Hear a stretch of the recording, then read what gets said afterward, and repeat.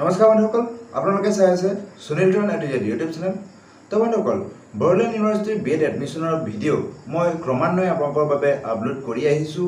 মোৰ ভিডিঅ'খিনিক মৰম চেনেহ দিয়াৰ বাবে আপোনালোকলৈ প্ৰথমতে মই আপোনালোকক ধন্যবাদ জনাইছোঁ।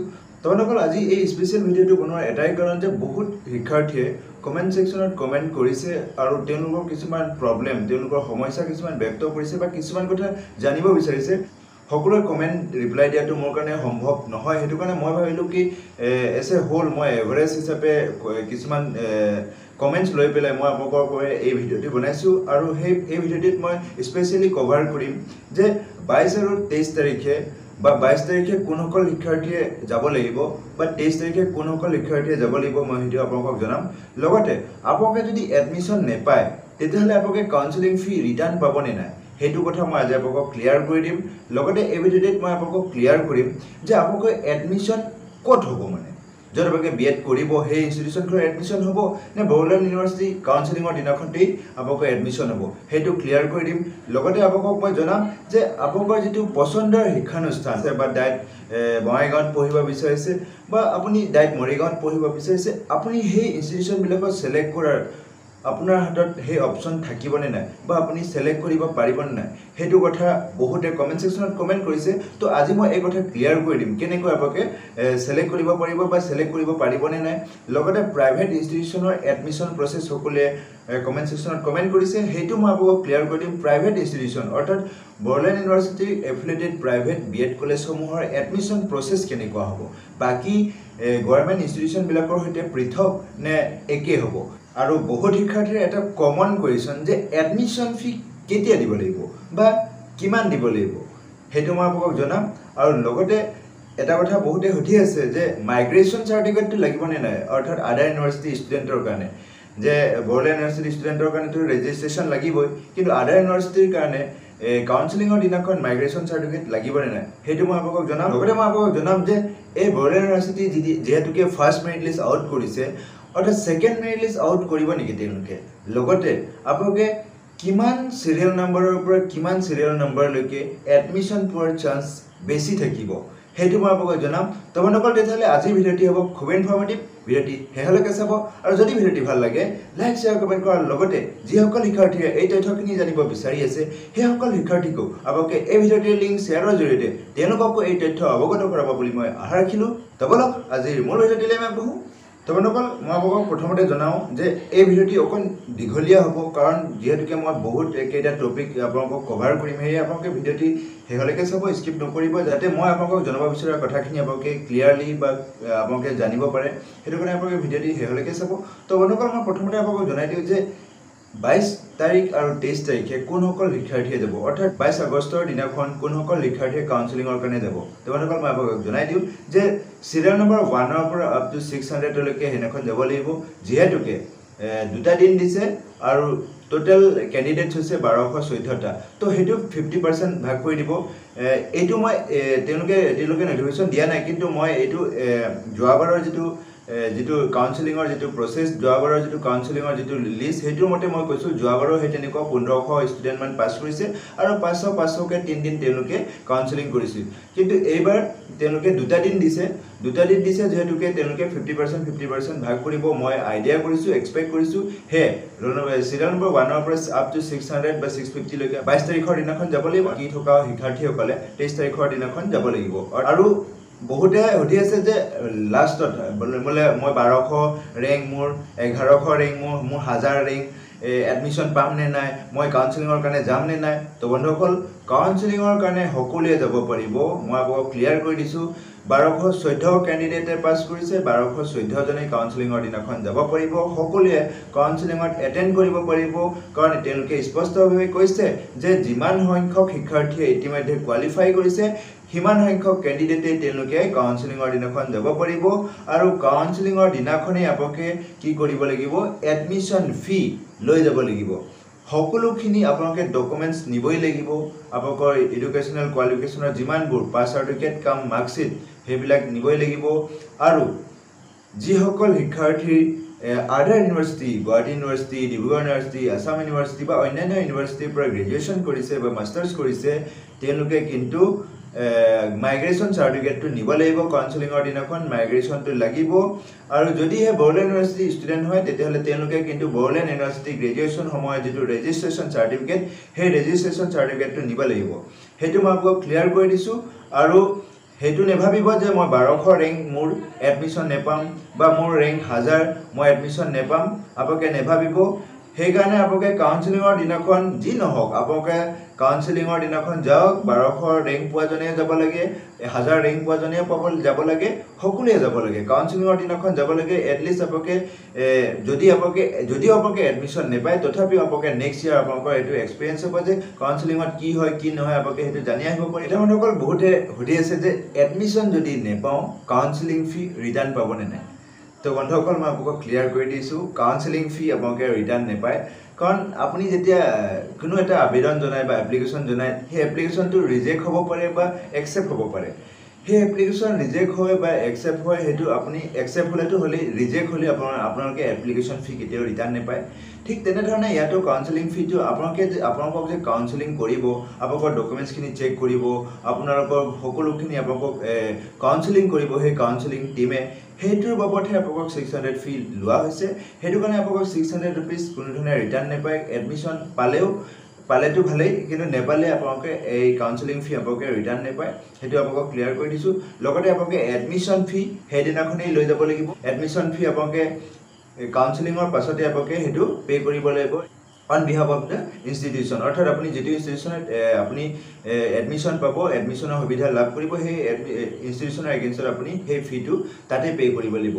এতিয়া মানুহসকল আপোনালোকে এই ইনষ্টিটিউশ্যনবিলাক অৰ্থাৎ আপোনাৰ পচন্দৰ শিক্ষানুষ্ঠান আপুনি ছাপ'জ ডাইট মৰিগাঁৱত পঢ়িব বিচাৰিছে বা ডাইট বঙাইগাঁৱত পঢ়িব বিচাৰিছে আপুনি সেইটো ছিলেক্ট কৰাৰ অপশ্যন আপোনাৰ থাকিবনে নাই? তো মানুহসকল আপুনি আপোনালোকে সেইটো ছিলেক্ট কৰিব নোৱাৰে। সেইটো মই জনাই দিছোঁ আপোনালোকে ছিলেক্ট কৰিব নোৱাৰে। এইটো কাউন্সেলিং টীমে আপোনালোকক ছিলেক্ট কৰি দিব। অৰ্থাৎ কাউন্সেলিং টীমে কোনটো শিক্ষাৰ্থী কোনটো ইনষ্টিটিউশ্যনত পঢ়িব পাৰিব কোনজন শিক্ষাৰ্থী কোনটো ইনষ্টিটিউশ্যনত এডমিশ্যন ল'ব পাৰিব সেইটো থিৰাং কৰিব কাউন্সেলিং টীমে আৰু সেয়ে আপোনালোকে কাউন্সেলিং ফৰ্মত যদি ভালকৈ চায় কাউন্সেলিং ফৰ্মৰ তলৰ ফালে চাব আপোনালোকে আপোনাক ক'ত ডিপ'ট কৰা হৈছে আপোনাক ক'ত এডমিশ্যনৰ কাৰণে ছিলেক্ট কৰা হৈছে তাত লিখা আছে সেইটো তেওঁলোকে লিখিব আৰু সেইটো তেওঁলোকে আপোনালোকক জনাই দিব আফটাৰ কাউন্সেলিং আৰু সেই কাউন্সেলিঙৰ পাছতেই সেইদিনাখনেই সেই ইনষ্টিটিউশ্যনৰ এগেইনষ্টত আপুনি এডমিশ্যন ফিখিনি পে' কৰিব লাগিব। এতিয়া জনাই দিওঁ মই আপোনালোকক যে ছেকেণ্ড মেৰিট লিষ্ট পাব্লিছ হ'ব নেকি যিহেতুকে ফাৰ্ষ্ট মেৰিট লিষ্ট এটা মেৰিট লিষ্ট পাব্লিছ কৰিছে বড়োলেণ্ড ইউনিভাৰ্চিটিয়ে তো অকল এই ফাৰ্ষ্ট মেৰিট লিষ্ট পাব্লিছ হৈছে হয় কিন্তু এইটো ফাইনেল মেৰিট লিষ্ট অৰ্থাৎ ছেকেণ্ড মেৰিট লিষ্ট পাব্লিছ কৰাৰ কোনো চান্স নাই। ছেকেণ্ড মেৰিট লিষ্ট কেতিয়াও পাব্লিছ নকৰে বড়োলেণ্ড বড়োলেণ্ড ইউনিভাৰ্চিটিয়ে। কাৰণ যিসকল শিক্ষাৰ্থী কোৱালিফাই কৰিছে যিসকল শিক্ষাৰ্থী পাছ কৰিছে সেইসকল শিক্ষাৰ্থীয়ে মেৰিট লিষ্টত নাম আহিব আৰু যিসকল শিক্ষাৰ্থী ইতিমধ্যে পাছ কৰিছে সেইসমূহ শিক্ষাৰ্থীৰ নাম মেৰিট লিষ্টত নাম আহিছে। আৰু যিসকল শিক্ষাৰ্থীৰ ৰোল নম্বৰ নাই বা যিসকল শিক্ষাৰ্থীৰ মেৰিট লিষ্টত নাম অহা নাই তেওঁলোকে ভাবি থওক যে তেওঁলোকে কোৱালিফাইং মাৰ্কছ পোৱা নাই অৰ্থাৎ যিটো ফৰ্টি টু নম্বৰ মাৰ্কছ যিটো কোৱালিফাইং মাৰ্কছ হিচাপে তেওঁলোকে ধৰিছে সেই ফৰ্টি টু মাৰ্কছ আপোনালোকে কেৰি কৰিবলৈ সক্ষম হোৱা নাই যাৰ বাবে আপোনালোকৰ নাম এই মেৰিট লিষ্টত আপোনালোকৰ নাম অহা নাই। তো সেইটো কাৰণে আপোনালোকে ভাবি ল'ব লাগিব যে আপুনি পাছ কৰা নাই বা কোৱালিফাই কৰা নাই তো আপুনি নেক্সট ইয়াৰৰ কাৰণে প্ৰিপেৰেশ্যন চলাওক। নেক্সট ইয়াৰ যাতে আপুনি এডমিশ্যন লোৱাৰ সুযোগ পায়। এতিয়া জনাই দিওঁ প্ৰাইভেট কলেজৰ এডমিশ্যন কেনেকুৱা হ'ব? তো বন্ধুসকল মই প্ৰাইভেট কলেজৰ যিটো এডমিশ্যন যিটো প্ৰচেছ সেইটো মই বিতং নেজানো। তথাপিতো মই আপোনালোকৰ কাৰণে ইনষ্টিটিউশ্যনবিলাকৰ ৱেবছাইটত ভিজিট কৰিছোঁ ইনষ্টিটিউশ্যনবিলাকত মই চাৰ্চ কৰিছোঁ আৰু সেই ভিত্তিত মই আপোনালোকক জনাই দিছোঁ যে যিটো ৰেমেলি একাডেমি যিটো আছে ৰেমেলি একাডেমি বুলি যিটো প্ৰাইভেট ইনষ্টিটিউশ্যন আছে বি এড কলেজ আছে সেইটোৰ পৰা মই তথ্য এটা গম পালোঁ কি যে তেওঁলোকে এডমিশ্যনৰ যিটো প্ৰচিডিউৰ তেওঁলোকৰ সেই প্ৰচিডিউৰটো তেওঁলোকে কি কৰিছে বড়োলেণ্ড ইউনিভাৰ্চিটি কেম্পাছত তেওঁলোকৰ নহয় অৰ্থাৎ তেওঁলোকৰ ইনষ্টিটিউশ্যনতে তেওঁলোকে কি কৰিছে এডমিশ্যনটো ল'ব। আপোনালোকে অফলাইনভাৱে সেই ইনষ্টিটিউশ্যনত গৈ আপোনালোকে এডমিশ্যন ফৰ্মটো আনিব পাৰে বা আপোনালোকে সেই ইনষ্টিটিউশ্যনৰখনৰ যিটো ৱেবছাইট সেই ৱেবছাইটত ভিজিট কৰি আপোনালোকে এডমিশ্যন ফৰ্মটো ডাউনলোড কৰি ল'ব পাৰে আৰু সেই এডমিশ্যন ফৰ্ম আপোনালোকে সকলোখিনি ডকুমেণ্টছ গাঁঠি পেলাই আপোনালোকে ইনষ্টিটিউশ্যনত জমা দিব লাগে উইথ টু হাণ্ড্ৰেড ফিফটি আপোনালোকে ফি হিচাপে দি দি থৈ আহিব লাগিব। অৰ্থাৎ এপ্লিকেশ্যন ফি টু ফিফটি দিব লাগিব আৰু বাকী ডকুমেণ্টছ সেই ফৰ্মৰ লগত আপোনালোকে গাঁঠি পেলাই সেই ইনষ্টিটিউশ্যনখনত অফলাইনভাৱে জমা দি আহিব লাগিব। অনলাইনৰ কোনো ব্যৱস্থা নাই অফলাইনভাৱে আপোনালোকে জমা দি আহিব লাগিব।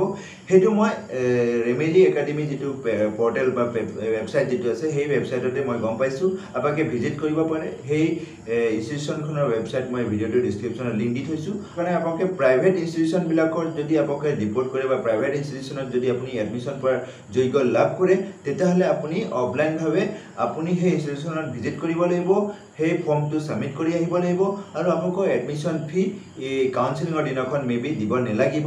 যিহেতুকে আপোনালোকে এডমিশ্যন ফি বা অন্যান্য ডকুমেণ্টছখিনি আপোনালোকে সেই ইনষ্টিটিউশ্যনখনতে আপোনালোকে অফলাইনভাৱে দিব লাগিব। সেই কাউন্সিলিঙৰ দিনাখন যিসকলে প্ৰাইভেট ইনষ্টিটিউশ্যনত এডমিশ্যন পোৱাৰ লাভ কৰে বা প্ৰাইভেট ইনষ্টিটিউশ্যনত লোৱাৰ সুযোগ পায় তেওঁলোকে এডমিশ্যন ফি দিব নালাগে সেইদিনাখন।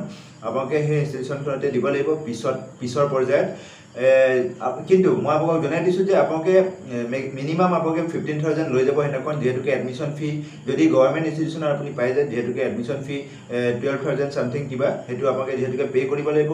তো সেইটো কাৰণে মিনিমাম আপোনালোকে ফিফটিন থাউজেণ্ড মান সেইদিনাখন লৈ যাব।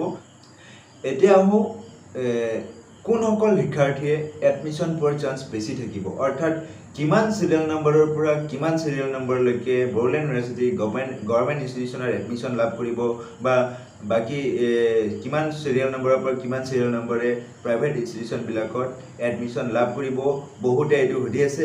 তোমালোকৰ মই আপোনালোকক জনাই দিওঁ যে তেনেকুৱা কোনো ছিষ্টেম নাই যে ইমান ৰোল নম্বৰৰ পৰা ইমান ৰোল নম্বৰক আমি এডমিশ্যন দি দিম বাকী ৰোল নম্বৰকেইটাক আমি এডমিশ্যন নিদিওঁ। তেনেকুৱা নহয় এইটো according to the reservation policy যাব। তো মই আপোনালোকক আগতেই জনাইছোঁ যে ছেভেন পাৰ্চেণ্ট এছ চিসকলৰ কাৰণে ফাইভ পাৰ্চেণ্ট এছ টি এইচৰ কাৰণে টেন পাৰ্চেণ্ট এছ টি পিৰ কাৰণে আৰু fifteen percent O' B C M O' B চিৰ কাৰণে আৰু ই ডাব্লিউ এছৰ কাৰণে টেন পাৰ্চেণ্ট তো এনেধৰণে তেওঁলোকে ৰিজাৰ্ভেশ্যন পলিচি ৰাখিছে আৰু সেইটোৰ পলিচি মতে তেওঁলোকে এডমিশ্যনসমূহ দিব আৰু কিছুমান ছিট বড়োলেণ্ড ইউনিভাৰ্চিটিৰ ষ্টাফৰ কাৰণে তেওঁলোকে কিছুমান ছিট ৰাখিছে সেইটো থ্ৰী পাৰ্চেণ্ট প্ৰতিটো ইনষ্টিটিউশ্যনত থ্ৰী পাৰ্চেণ্ট ছিট তেওঁলোকে বড়োলেণ্ড ইউনিভাৰ্চিটিৰ ষ্টাফসকলৰ কাৰণে ৰাখিছে।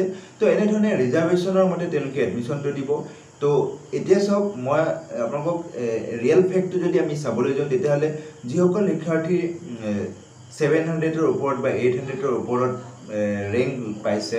আৰু যদি তেওঁলোক আনৰিজাৰ্ভ হয় তেতিয়াহ'লে তেওঁলোকৰ এডমিশ্যন পোৱাৰ ক্ষেত্ৰত অকণ টান হ'ব পাৰে বা এডমিশ্যন পোৱাৰ ক্ষেত্ৰত তেওঁলোকে যোগ্য লাভ নকৰিব পাৰে যোগ্যতা লাভ নকৰিব পাৰে। কাৰণ যিহেতুকে যিসকল ভাল ৰেংক সেইসকল শিক্ষাৰ্থী সেয়েহে মানে এডমিশ্যন পোৱাৰ চান্সেছটো বেছি তেওঁলোকে এডমিশ্যনটো লাভ কৰিব। তো আপোনালোকে সেইটো নহয় যে এডমিশ্যন নেপাব পাৰে। মই এক্সপেক্ট কৰিছোঁ আপোনালোকে কিন্তু কাউন্সিলিঙৰ দিনাখন যাব পাৰিব কাউন্সিলিঙৰ দিনাখন যাব আৰু যিসকল শিক্ষাৰ্থী মানে ছেভেন হাণ্ড্ৰেডৰ ৰেংকৰ ওপৰত আছে আৰু যদি আনৰিজাৰ্ভ হয় তেতিয়াহ'লে এডমিশ্যন পোৱাৰ ক্ষেত্ৰত অকণ টান হ'ব বা চান্সেছটো কম থাকিব। কিন্তু যদি ৰিজাৰ্ভ কেটেগৰী হয় আপুনি যদি বাৰশ ৰেংক পাইছে বা বাৰশ চৈধ্য লাষ্ট আপুনি আপোনাৰ নাম লাষ্টত আছে তথাপিতো আপুনি যদি আনৰিজাৰ্ভ নহয় ৰিজাৰ্ভ কেটেগৰী হয় তেতিয়াহ'লে আপুনি যাব পাৰে কাউন্সিলিঙৰ দিনাখন আৰু আপোনাৰ এডমিশ্যন পোৱাৰ চান্সটো আপোনাৰ আছে আপুনি যাব পাৰিব আপুনি যাব লাগে কাউন্সিলিঙৰ দিনাখন আৰু মই ভাবিছোঁ এই এই ভিডিঅ'টিত মই আপোনালোকৰ সমস্যাখিনি বা আপোনালোকৰ প্ৰব্লেমছখিনিৰ যিটো চলিউশ্যন মই আপোনালোকক দিব পাৰিছোঁ বুলি মই ভাবিছোঁ আৰু যদি আপোনালোকৰ কিবা আৰু যদি কিবা সমস্যা থাকে আপোনালোকে কমেণ্ট ছেকশ্যনত কমেণ্ট কৰিব। কিবা জানিবলগীয়া থাকিলে কমেণ্ট ছেকশ্যনত কমেণ্ট কৰিব। মই আপোনালোকক এনচাৰ দিবলৈ বা ৰিপ্লাই দিবলৈ চেষ্টা কৰিম। তো এইখিনি আছিল আজিৰ ভিডিঅ' আৰু ভিডিঅ'টি শেষলৈকে চোৱাৰ বাবে আপোনাক অশেষ ধন্যবাদ। ধন্যবাদ। জয় অসম